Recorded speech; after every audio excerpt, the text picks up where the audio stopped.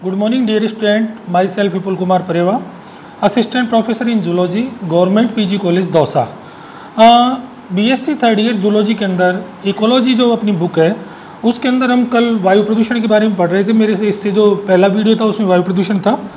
आज का मेरा टॉपिक है वायु प्रदूषण के प्रभाव। कि जो ये पॉल्यूशन है एयर पॉल्यूशन ये किस प्रकार से हमें प्रभावित करता है उसके संदर्भ में आज हम बात करेंगे।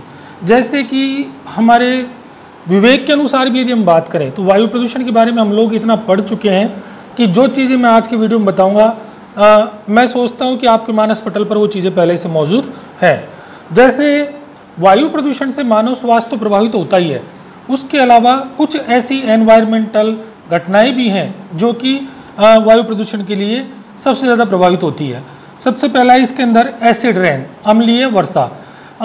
एक्चुअली क्या होता है कि सल्फ़र डाइऑक्साइड कार्बन डाइऑक्साइड एवं नाइट्रोजन डाइऑक्साइड, ये सारी गैसें आपस में मिलकर जब इनके कण वातावरण के अंदर सस्पेंडेड रहते हैं तो उस समय जो वाष्प होती है, उस वाष्प में जल की जो वाष्प है, उस वाष्प के साथ ये मिलकर कार्बनिक अम्ल, सल्फ्यूरिक अम्ल और नाइट्रिक अम्ल का निर्माण कर लेते हैं। जो ही वर्षा होती है अच्छा तीनों ही अम्ल हैं, अर्थात जो वर्ष इनकी पीएच होगी, वो सामान्य पीएच से कम होती है, अर्थात अम्लीय होती है। जो ही ये वर्षा के रूप में जिस जगह पर बारिश होती है तो उस जगह एज ए एसिड रेन का कंसेप्ट आ जाता है। फलस्वरूप अब इससे नुकसान ये है कि जो भी जीव जात वहाँ पर रह रहे मान लीजिए पानी है तो पानी में यदि पानी मिलता है तो एसिड रेन का पानी जब मिलेगा तो वहाँ का जो भी फोना है जो भी फोना है फ्लोरा है, दोनों ही उस एसिड के लिए वो तैयार नहीं होते हैं और उनके शरीर पर वो प्रतिकूल असर डालती है। इसके अलावा भवन मान लीजिए गाड़ियाँ खड़ी हैं तो गाड़ियों के ऊपर वो बारिश हो रही है तो एल्यूमिनियम उसमें जंग का दिखाएगा, लोहा जंग दिखाएगा, आपके भवनों को नुकसान पहुँच रहा है। ये सारे जो जितने भी दुष्परिणाम है, ये अम्लीय वर्षा के लिए आते हैं। तथा ये वहाँ का जो जीव जात है, उस जीव जात की पारिस्थितिकी को बिल्कुल प्रभावित तो कर देता है। सेकंड नंबर पे है हरित ग्रह प्रभाव, greenhouse effect. Greenhouse effect आपने बहुत पढ़ा है। इसको मैं थोड़ा विस्तार से बताता हूँ। ग्रीन हाउस इफ़ेक्ट विदेशों के अंदर, जहाँ पर मौसम ठंडा रहता है, वहाँ पर एक कृत्रिम घर बनाया जाता है, जिसे कांच घर कहते हैं। इस कांच घर में पौधों को रखा जाता है। फलस्वरूप, वहाँ ठंड ज़्यादा होती है तो दिन में जब सूर्य निकलता है तो सूर्य की कम तरंग दैर्ध्य जो किरणें हैं, उस समय उसके ऊपर के कांच के गेट खोल देते हैं तो सूर्य के प्रकाश की जो कम तरंग दैर्ध्य की जो किरणें हैं, वो उस कांच घर के अंदर जाएँगी, और जाने के बाद में जब वो हीट हो जाती है वहाँ पे, ऊष्मा उत्पन्न हो रही है तो ऊष्मा के फलस्वरूप अत्यधिक, ज़्यादा विकिरण वाले तरंग दैर्ध्य की किरणें उनसे प्रसारित होंगी। फलस्वरूप वो गेट बंद कर दिया जाता है, ऊपर की जो छत है ना, वो बंद कर देता है। फलस्वरूप वो पौधे एक गर्म वातावरण के अंदर रहते हैं। That is calling greenhouse effect same यही प्रकार हमारे प्रकृति के अंदर, वातावरण के अंदर चलता है। सूर्य से आने वाली किरणें जब पृथ्वी की सतह पर गिरती हैं, वायुमंडल के माध्यम से तो फलस्वरूप दूसरी तरंग दैर्ध्य बनती है उच्च तरंग दैर्ध्य। अब ये तरंग दैर्ध्य वापस अंतरिक्ष में लौटती है। लेकिन पर्यावरण के अंतर्गत जैसे ये प्रदूषक जो कारक फैल रहे हैं ये एक लेयर का निर्माण कर देते हैं वातावरण के अंदर। फलस्वरूप वो उच्च तरंग दैर्ध्य वाली किरणें वापिस न लौटकर पृथ्वी पर ही रह जाती है। फलस्वरूप जो पृथ्वी का तापमान है वो इंक्रीज हो रहा है। आ, इसका बेस्ट एग्ज़ाम्पल आपको देख यदि हम देखें तो आ, जो ये ध्रुवीय प्रदेश है या आर्कटिक है या अंटार्कटिका है तो वहाँ पर जो ग्लेशियर है, वो लगातार पिघल रहे हैं। सर्वे के अनुसार ये मालूम हुआ है कि साहब, जो ग्लेशियर की स्थिति पहले ज़्यादा थी, वो धीरे धीरे घटती जा रही है। फलस्वरूप ग्लेशियर का पानी समुद्र में मिल रहा है और समुद्र में पानी मिलने के साथ जो समुद्र का तट है, वो तट लगातार बढ़ता जा रहा है। इस प्रकार हम देखते हैं कि ग्रीन हाउस इफ़ेक्ट की वजह से पृथ्वी का तापमान लगातार बढ़ता जा रहा है। इसे ही ग्लोबल वार्मिंग भी कहते हैं, विश्व भूमंडलीय तापन समस्या।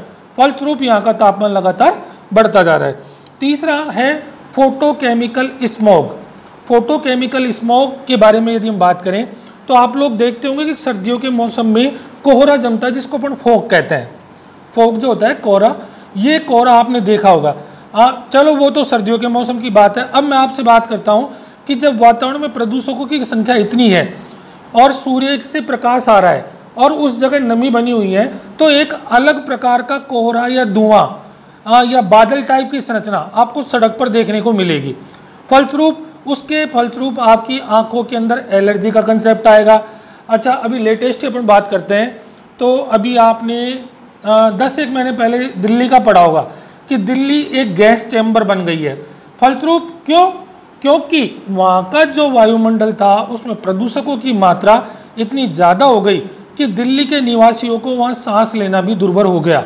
फलस्वरूप वहाँ के जो तत्कालीन मुख्यमंत्री हैं, उन्होंने कई प्रयोग अपनाए। उन्होंने ओड, इवन कार का भी कंसेप्ट चलाया था कि भाई प्रदूषण कम से कम हो सके और वाहनों को बंद किया। उसके अंदर कैटेगराइजेशन किया कि एक निश्चित समय के बाद के वाहनों को मार्ग पर चलने की अनुमति प्रदान नहीं की जाएगी। आरटीओ द्वारा उनका लाइसेंस निरस्त कर दिया गया था। तो इस प्रकार जो फोटोकेमिकल स्मॉग बनता है, ये स्मॉग पर्याप्त नमी जब रहती है वातावरण के अंदर, प्रदूषकों प्लस सूर्य के प्रकाश के साथ मिलकर एक फोटोकेमिकल स्मोक का निर्माण करते हैं। नेक्स्ट है ओजोन छिद्र या ओजोन परत का विलगन। देखिए, हमारे स्टेटोस्फेयर में ओजोन गैस होती है। ये सूर्य से आने वाली पराबैंगनी विकिरणों को वहीं पर रोक लेती है ताकि वो पृथ्वी पर ना आए। यदि वो पराबैंगनी विकिरणें पृथ्वी पर आती हैं तो इसके फलस्वरूप हमारे शरीर में त्वचा का कैंसर स्किन के कैंसर लंग्स का कैंसर फेफड़ों इन सभी प्रकार की बीमारियाँ होती है। अब वो क्या रहा है? वर्तमान में जो गैस प्रयुक्त हो रही है सबसे ज़्यादा सी एफ़ सी क्लोरोफ्लोरोकार्बन इनके जो ऑक्साइड हैं, ये ऊपर जाकर ओजोन परत को नुकसान पहुँचा रहे हैं। जो ही ये पराबैंगनी विकिरणों के संपर्क में आते हैं, इनसे क्लोरीन मुक्त होती है और क्लोरीन ओजोन गैस को तोड़ने का कार्य करती है। अंटार्कटिका के ऊपर एक विशाल विशाल छिद्र भी देखा गया है जो इस बात का बिल्कुल गोतक है कि आने वाले समय में यदि ये प्रदूषण नहीं रोका गया तो इसी प्रकार से ओजोन परत में छेद हो जाएगा और सूर्य से आने वाली पराबैंगनी विकिरणें, जो कि अभी तक ओजोन परत के द्वारा रोकी जा रही थी, वो नष्ट हो जाएँगी और वो सीधे मनुष्य को प्रभावित करेंगी। वायु प्रदूषण के ये तो मैंने आपको एनवायरमेंटल इफ़ेक्ट बताए थे कि इनसे एनवायरमेंट में जो बड़े परिवर्तन हो रहे हैं, वो हम देख पा रहे हैं। अब नेक्स्ट हम देखते हैं कि वायुमंडल में जो जीव जात है, या मनुष्य है, इस मनुष्य पे वायु प्रदूषण का क्या प्रभाव हो रहा है? यदि मानव स्वास्थ्य पर प्रदूषण की बात करें तो मानव स्वास्थ्य पर आप देखिए सबसे पहले मैं बताऊँ, वायु प्रदूषण का सबसे इजी है एलर्जी का। आपने देखा होगा, कई लोग डस्ट से एलर्जी शो करते हैं।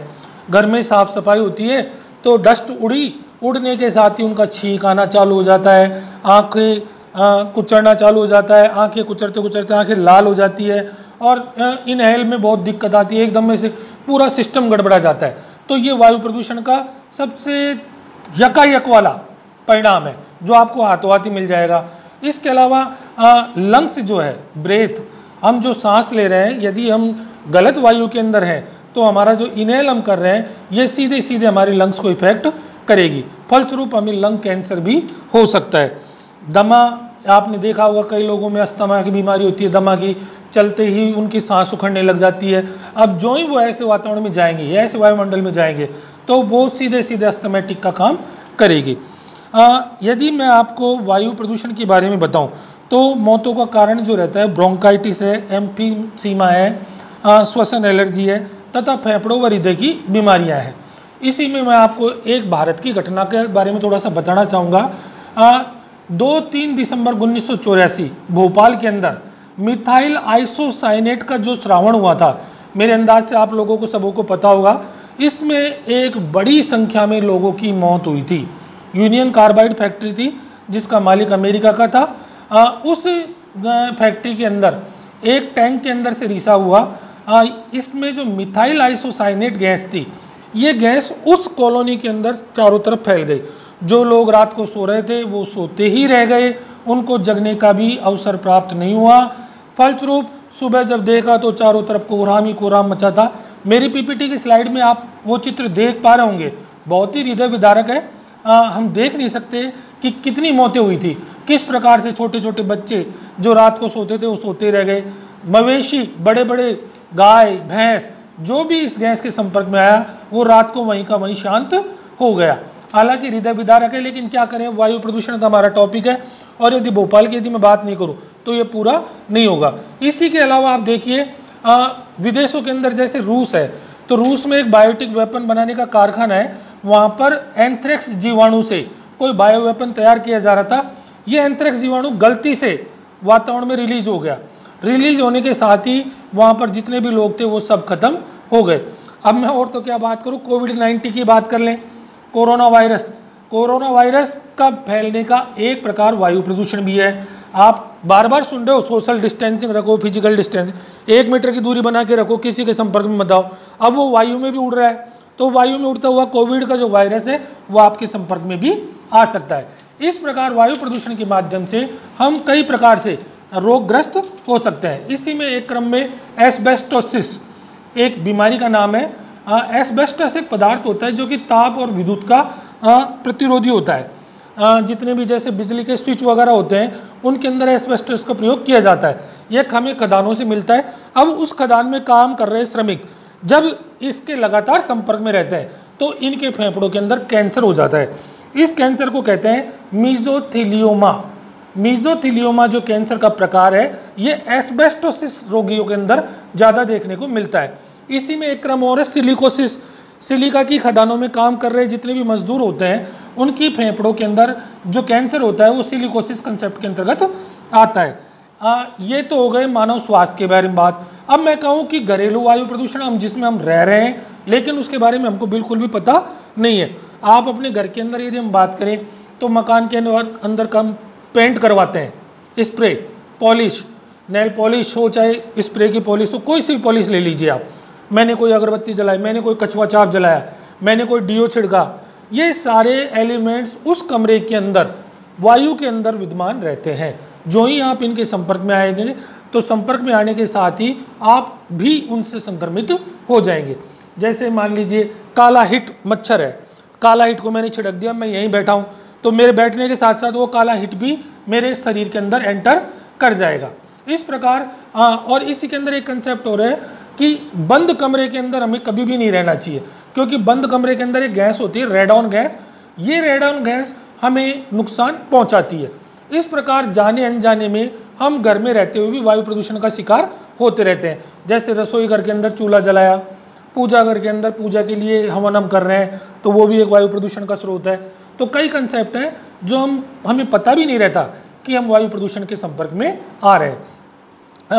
अब वायु प्रदूषण का नियंत्रण किस प्रकार किया जाए?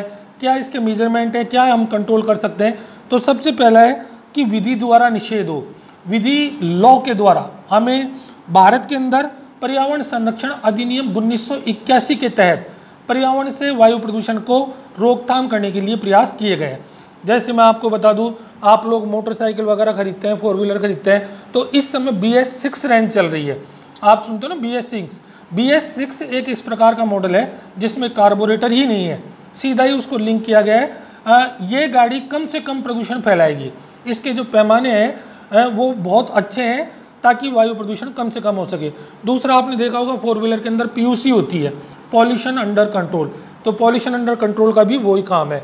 तो यदि हम लॉ के द्वारा इस प्रकार का अध्ययन कर रहे हैं तो ये विधि द्वारा हो जाता है।